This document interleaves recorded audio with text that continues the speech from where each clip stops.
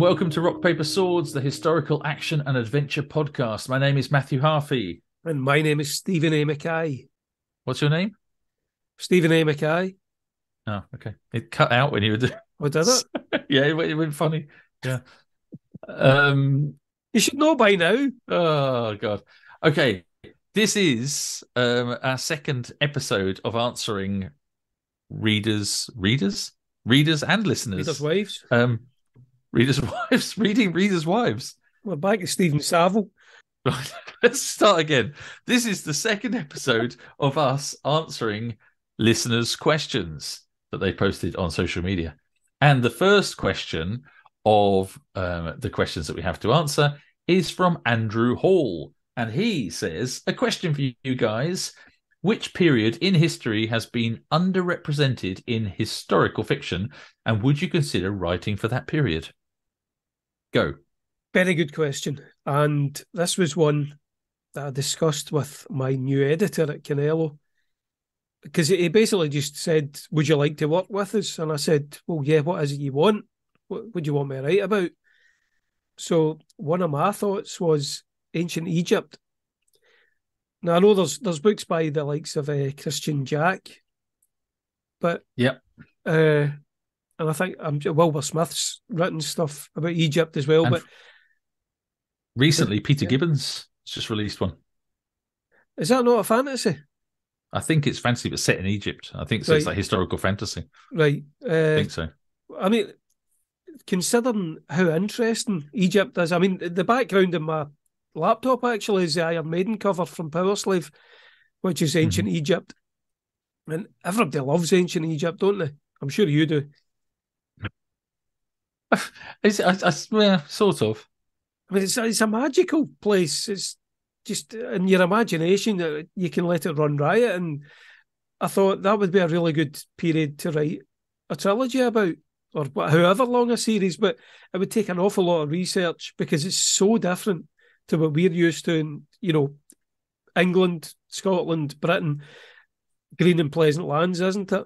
And we live here, so Yeah. we know what it's like. So to write about Egypt and the deserts and stuff would be a completely different thing. It would take a, an awful lot of hard work to re- uh, really represent it properly and do it justice. Yeah. But I mean, the stuff I read from Christian Jacq, it wasn't very good. To be to be honest, I mean, I think some of his stuff's good, but the ones that I read were not particularly good. And I think it, it's there's an opportunity there for somebody to probably make a lot of money by doing So a really sounds- really good series. So it sounds like that's that's your thing that you've answered the second part is that you would like to do that, but it'd be difficult to do. Yeah, definitely. But so I think there's other uh, similar. So if, if you start going back into lesser known parts of, I think it's down to being maybe they're lesser known or more difficult to access. But I'm thinking like lots of the South American and Central American, North, you know, like the, from the Aztecs to the Mayas and the Incas and all that. I don't think I've read much historical fiction based around um, uh, those places and the, you know those civilizations. But of course, they're huge civilizations with cities and you know just like the very similar to the uh, to the the ancient Egyptians. yeah, they you know, the totally different pyramids and culture the- and the ziggurats and the pyramids and all yeah, this and stuff. the giant And- heads and yeah, yeah. So they've got loads the of big stuff here. spheres, the, the stone spheres that are like the size of a house and stuff like that. That nobody Yeah. knows how they were made. So I think things like that, so places that are sort of lesser known and more distant to Western Europe, I guess. Um, so you know, places like you know the Easter Island and and Mm. the, the Fiji and those sort of places as well. You know, New Zealand, but before Westerners arrived there, you know, those the Polynesian islands. I mean, there's there's those sort of places that they, they appeal to me as in that they're distant and and unusual and almost like a fantasy world, Yeah. mysterious. But at the same time, like you say, um, it would be incredibly difficult to to research. And also, I think nowadays, in the way the world is, it's the sort of thing that if 50 years ago we were doing this, we could say, well, I'm going to write a book about the Polynesian people uh, a thousand years ago, um, and we would just do it. But nowadays, I think people would not be happy with white middle class guy from England writing a story about the indigenous people of the Polynesian islands or or the ancient Aztecs or the ancient Incas or whatever. So I think life maybe has become a bit more complicated in terms of what you can and can't write about. And I think the danger would be that you would you would basically just be writing a, a westernized action adventure story because that's Ex- all we know. Uh, There's no way to know what their life was like on Easter Island when they were making these massive stone heads or whatever. There's a there's a film. Um, I think it's directed by Kevin Reynolds, who, interesting enough, was the director of Robin Hood, Prince of Thieves, which was one of the someone mentioned in one of the questions that we haven't got to. Um, but he also went on to direct. I think it's Reynolds. I mean, it's Kevin something. It's not Kevin Costner, but um, he he went on to direct Waterworld as well. But he Hmm. directed uh, a film called Rapa Nui, which is actually set in um, I think East, Easter Island and the Polynesian Islands, and it is. I think it's like the only sort of mainstream big movie that I've seen set, and it's and it's before, um, you know, the white Mm. man arrives, and it's all about the the, the you know the people of the of the, the place. And the other thing I'm thinking of is Apocalypto, as well, which is a great Mel Gibson movie, which is actually set in the I think it's the Mayans. Um, yeah, probably. Was that good? Um, Have you seen that? It's really good. Yeah? Yeah, it's All right. really, really good. Yeah. And um, that's actually all, all in the native language of the Mayans with subtitles.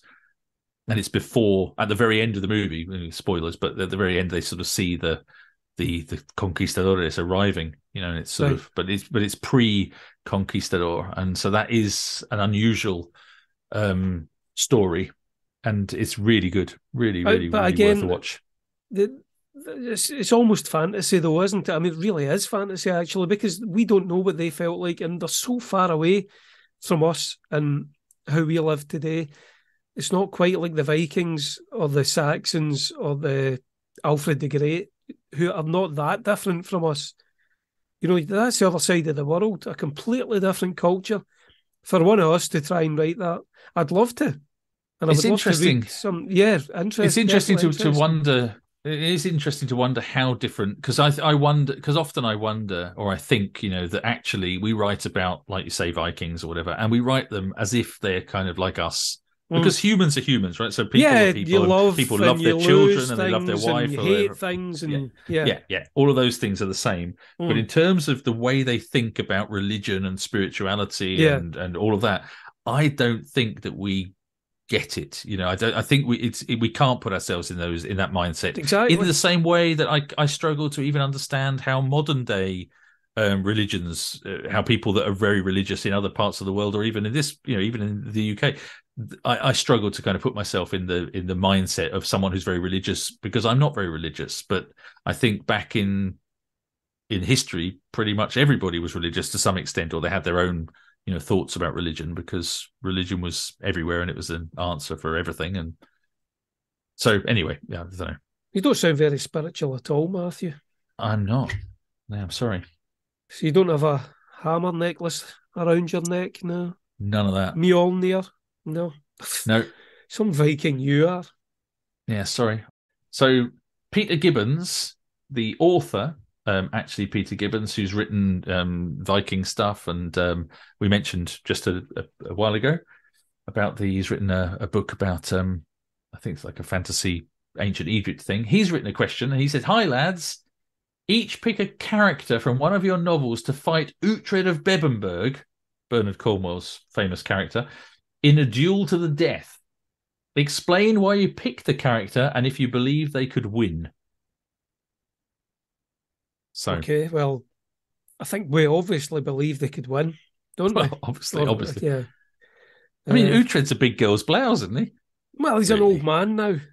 oh well, I well, what do you mean by now? it's, it's all a thousand years ago, right? So, um, Well, he's even older then.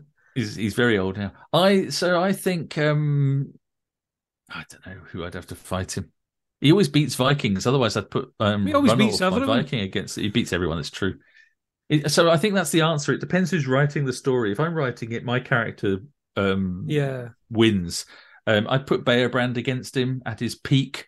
I think Beobrand and Uhtred are basically the same um, mold of character. And some would say, possibly even that Beobrand, you know, could be the forebear of Uhtred because in the same part of the world, who knows, you know, how that genetic line falls. Um, but I think Beobrand would beat him if I was writing the scene. Um, but I think if um, Bernard was writing the scene, I'm pretty sure Uhtred would win. But I think what would happen really is they'd fight until they're both tired, then decide to go to the mead hall and drink Have a, a drink. lot, Yeah. um, and just decide not to kill each other because they would see kindred spirits, um, and they would neither neither of them would do anything bad enough to want to kill the other. what about you? Who would you have fighting him then? Well, Uhtred's got uh, one real weakness, hasn't he? But like James Bond, Women. like yeah, he likes a woman a bit too much. So I think I would just pick any one of the the female characters, Matilda from the Forest Lord series, or Queen Narina from the Warrior Druid. He's killed a few women, though, hasn't he, in his in the in his fights? Yeah, but if they were a Princess Aif as well, he would be all over them like a rash, because that's just what Uhtred does. So I think if they were expecting it, they could definitely beat him. So I would pick a woman, and Uhtred would lose. There you go. That's a I good was going to answer. I was going to pick one of the dogs, uh, Bellicus's dogs, like Kai, but I don't know if a dog against Uhtred with a sword would no, I think really- Uhtred uh, would just would fillet the dog. Yeah. up, I think he'd get bitten, Yeah. but he'd kill it. Yeah, yeah. I think a woman is the way to go. That's that's a, a definitely a good answer. That's all our weaknesses, isn't it? Well, mine, mine Well, anyway. Definitely. My wife can woman, quite easily defeat me. that's true. um. So Mike Pickersgill actually asked the interesting question of um, what is the square root of three seven eight nine zero four five, and the answer is one thousand nine hundred forty six point five four six nine four two six seven. So there you go. Easy. Um, easy. Yeah, I just did that in my head. Stuart Welsh asks the question Was there a factor behind your decisions to write in the historical periods that you have done? And what was the decision, I guess? Well, I chose the period I did for the Warrior Druid series because, well, partially because there's not much known about it. There's no historical records for that kind of the Dark Ages, as it's called, for that exact reason. So you can kind of make a lot of stuff up yourself, and nobody can say you're wrong. And mm-hmm. similarly, the Druids at that time, well, nobody can say you're wrong with the how the religion worked at the time, or you know what they knew and what they didn't know.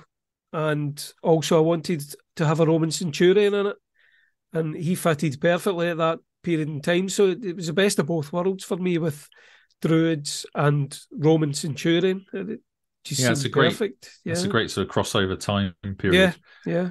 Yeah, I um I chose the Serpent Sword, um, the, the Bernicia Chronicles period, more based on the location than on the time period. So when I first started writing, it was because I I used to live near Bamburgh Castle, and I saw Which is Bebbanburg. Bamburgh Castle, which is Bebbanburg, yeah. And so I I discovered through a, a documentary that Bebbanburg was an important place right back in the seventh century. Um, and I wasn't really aware of that. And so that that then sort of sparked my imagination. So that's why I started writing about that period. And I knew uh, a bit like you with the, you know, you said you didn't know anything about the The Alfred, stuff. Yeah, um, stuff until you started researching. It was the same with me. I started writing the story and then thinking I better go and research and um, finding out, you know, obviously still still finding out stuff now years later because Yeah. there's a lot to learn. Um, but yeah, that was when I started, and then I realised that there were very few books written about that exact period as well. So there are lots of books about Vikings, um, and there's there's quite a you know there's lots of books about Romans. There's a few books now, uh, you know, around between the Romans and the Vikings, but not as many. Um, and there certainly were very few around the sort of seventh yeah ten century. years ago or whatever. There was Um, yeah, there, there was there, there were you know you got a few sort of end of the Roman period, um, like the where you're writing like about now, but yeah. again, not not many, not many of those. So it really is an unmined period actually that um between the sort of the fifth to eighth century um, there's not much written I wonder why UK that anyway. is. I wonder because to me it makes I it think- easier because you can. i think it's because up. vikings i think because vikings is such a a, a, a big um i don't know what was emblematic thing you know the, the the big viking ships and all of that and so And I think when we were at school, we studied the Romans and we studied the Vikings and the Normans and then the Tudors and then the Second World War Mm. or the First World War. That was it. There was nothing in between. So Yeah. I didn't really know. I don't really know anything that falls outside of those big blocks of history that you study at school. It's very Yeah. difficult. And so we I think, did like Robert the Bruce at school and uh, more well, yeah, yeah. kind of Scottish history and the Blitz, uh, Clydebank Blitz and stuff like that, where the Germans bombed the place in the Yeah. Second World War. But I would have loved to have done Vikings. We did the Normans. Uh, we did some Vikings. we never did anything like that, and I wish we did. I would have loved to have done even Romans. Uh, there was nothing really as interesting as that. Maybe we didn't do much at school. Maybe it was just in books that I had, like as a kid. I remember, you know, books, but maybe the books my parents bought me or whatever. I don't, I don't know, but I do remember reading about Vikings and Romans and stuff. But No, they certainly never made. I mean, you can obviously we try and hopefully succeed to make history really interesting and exciting. And at school, we never did anything as interesting as that. It was all boring. well, you, whatever we did at school, it wasn't. It didn't. I mean, I obviously liked history. I still do like history, but um, yeah, I didn't. I ended up flunking history Right. O level as it was when I was doing it. So GCSE, I failed history. Oh, I never realised that. Didn't realise you were as thick as that, Matthew. I, I passed mine. I failed. I failed um, English literature as well. It's my Makes claim sense. to fame. Yeah. Oh, no, So, I, I'm saying Robert the Bruce is born there. That's not what I meant. I just mean the way it was exactly what you the way it was presented to You're us at un- school. Patriotic. just the way it was presented at school, it was born. And then I watched Braveheart, and it was now it all makes sense. Well, It's yeah. historically accurate. It's exciting, and it drew me right in. So Perfect. Yeah, it's like like Robin Hood, Prince of Thieves, perfectly historically ac- historically accurate. yeah, Everything Robin of it, yeah. Sherwood, it was all just completely real. Perfect. Yeah. Conan the Barbarian. It's exactly what history was like. Well, in the Hyperborean age, maybe. Absolutely. Perfect. Cimmerian warrior. Right. Um Andrew Maxwell asks, what is your favorite book that you've read more than twice? And he then says that his is Stonehenge by Bernard Cornwell, which I have to admit I could not finish when I tried But- to read it. It's funny you should say that because I, I did finish it, but I never thought it was particularly good compared to his other books. So yeah, it just shows you the difference in tastes. Andrew It does, yeah.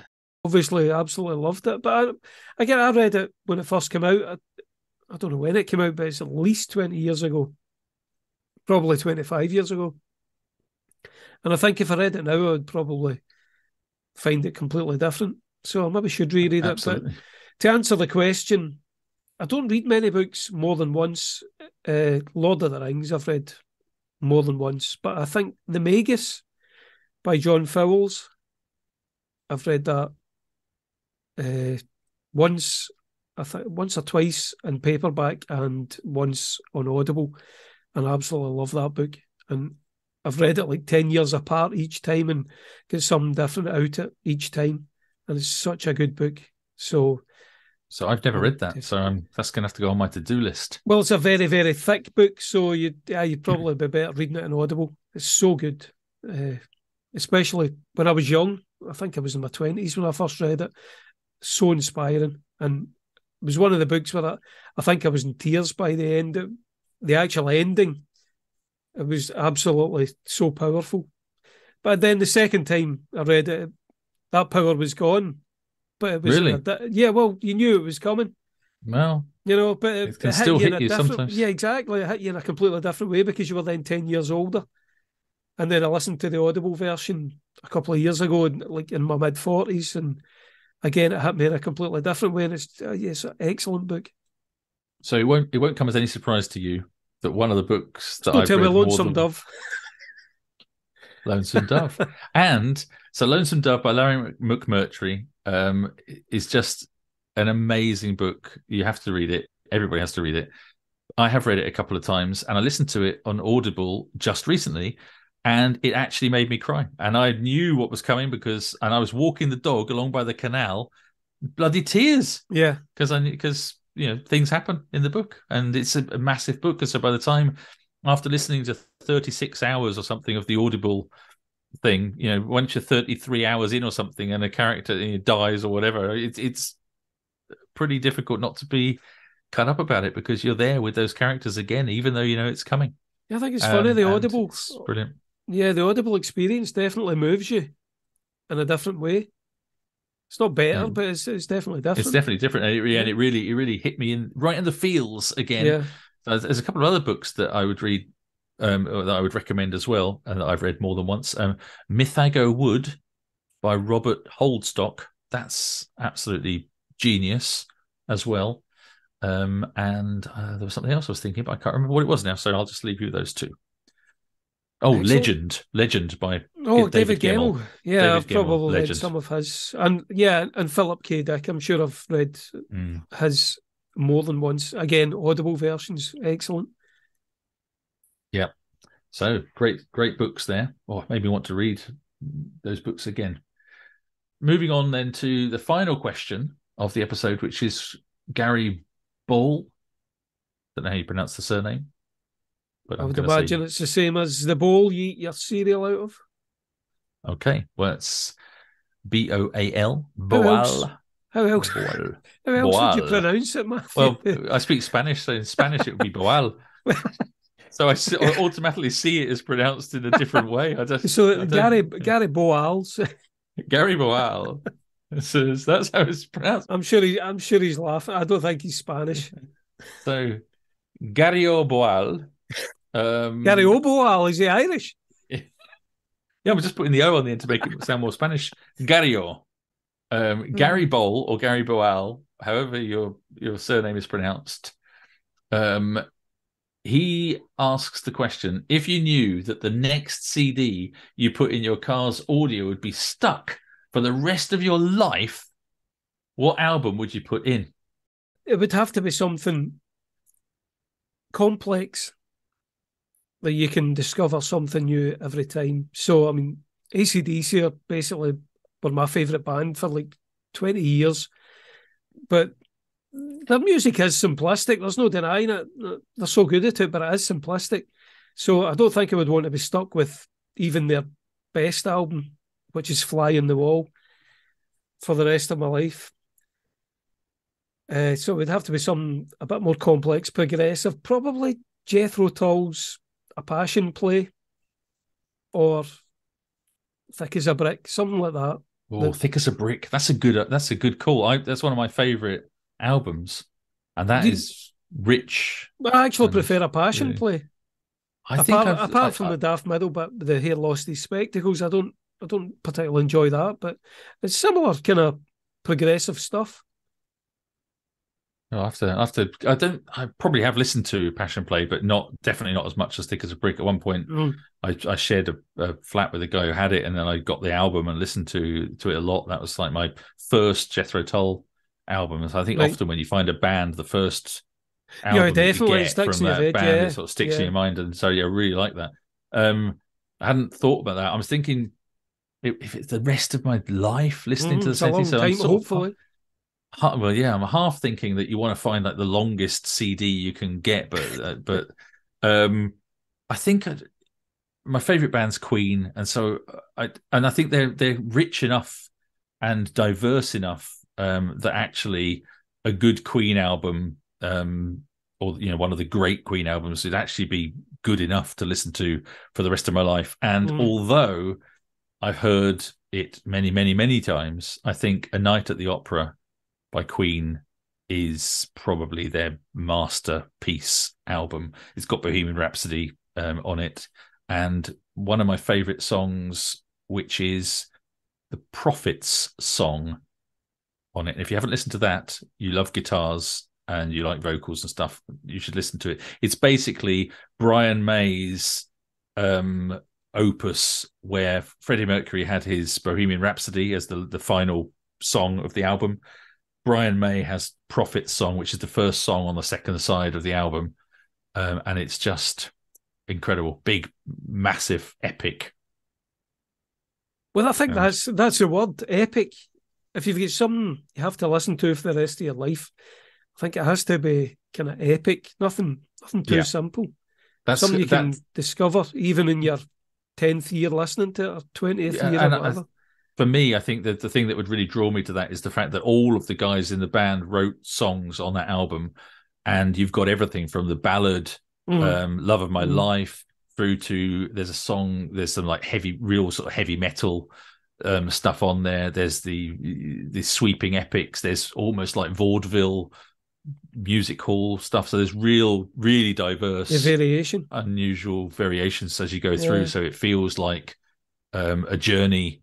Rather, it's almost progressive, mm. really. I mean, Queen yeah. were quite unusual in their heyday of their sort of diversity of, of sounds that they would produce as now on albums. Um, unapologetically bombastic as well. Yeah, would definitely like. have to be some progressive. I think is the word there. Some for me, something like Metallica's "And Justice for All" or Opeth's "Blackwater Park" or Death's mm. uh, "Human" or some some really. It's got a lot you can discover with every listen, rather than some like ACDC. Mm. But then I don't have a CD player in my car because uh, I'm a wealthy author, and I uh, I have Android Auto and stuff in my fancy Vauxhall Astra. Ah, well done. Well, yeah, I've hardly I've hardly got access to a car now because I'm such a fancy author. Uh, my youngest daughter's just learned to drive, and she's basically taken over the the car. So I I very rarely get to drive now. So that's it. But um, yeah, I think we've we've certainly got a lot of music we could choose from and i wouldn't really mind most things that i would put on a cd player if i had a cd player in the car i wouldn't mind being stuck listening to because i normally listen to only things that i like anyway but yeah uh, i'm the same yeah so but from time to time there, there, there is a, you might buy a new album you know back in the day when you bought cds you buy a new album of a new band that you're an old band that you thought you'd like and then think doesn't really live up to expectations which would be annoying to have that stuck in your cd player forever so that's it for yeah, today. That's the, I think. the second of two question episodes, and they were really good questions, and we still we never get through them all. So there's still some left over. So if we didn't answer your question, we'll get to it in a future episode, hopefully. So thanks very much yeah, and if you've got any more questions, um, then please uh, drop them by, and we'll do this as a regular slot. You know, every few weeks or months, or whatever, we'll we'll record one of these um, answer the questions thing. It's great, thought provoking for us and interesting. Um, you can let us know on Facebook, um, facebook.com um, slash rock paper swords podcast, and also on Twitter at rock underscore swords. Um, you can find out more about our books on MatthewHarffy.com and StevenAMcKay.com. The theme music is written and performed and copyrighted by us. Until next time on Rock, Paper, Swords, it's goodbye from me, Steven A. McKay. And it's goodbye from me. It's goodbye from me, Matthew Harffy. And remember, whatever action and adventure you have going on in your life, be kind, stay safe, and happy reading.